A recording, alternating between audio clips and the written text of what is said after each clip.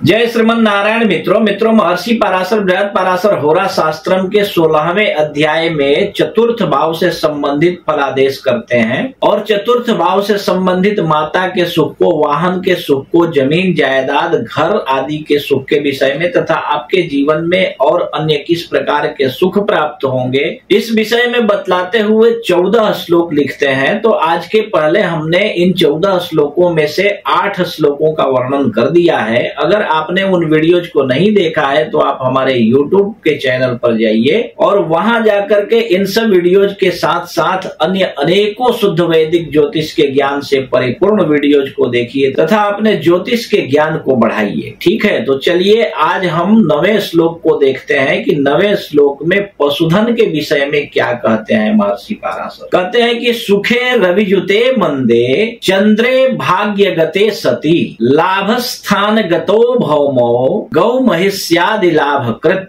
तो मित्रों, महर्षि पाराशर अपने नवे श्लोक में कहते हैं कि यदि चौथे घर में शनि और सूर्य दोनों एक साथ बैठे हो, आपकी कुंडली में चंद्रमा भाग्य भाव में बैठा हो तथा मंगल ग्यारहवें घर में बैठा हो तो ऐसे जातक को अपने जीवन में दुधारू पशुओं का बहुत सुख प्राप्त होता है। तो आप भी अपनी कुंडली देखिए और इस प्रकार के फल को अपने बुद्धि के अनुसार निकालिए और अगर संभव ना हो या फिर आपकी कुंडली ही ना हो तो आप हमसे संपर्क करके अपनी हस्तरेखा दिखा करके बहुत कुछ जान सकते हैं। और आपकी कुंडली हो और आपके जीवन में परेशानी भी हो तो आप हमारे यूट्यूब के चैनल पर आइए और वहाँ आकर किसी भी वीडियो के कमेंट बॉक्स में अपना date of birth time of birth और प्लेस ऑफ़ बर्थ के साथ अपना प्रश्न भी लिख करके छोड़ दीजिए। हमें जैसे ही समय मिलेगा, हम आपके प्रश्न का बिल्कुल निःशुल्क और सटीक जवाब यूट्यूब पर ही दे देंगे। ठीक है? जय श्रीमन नारायण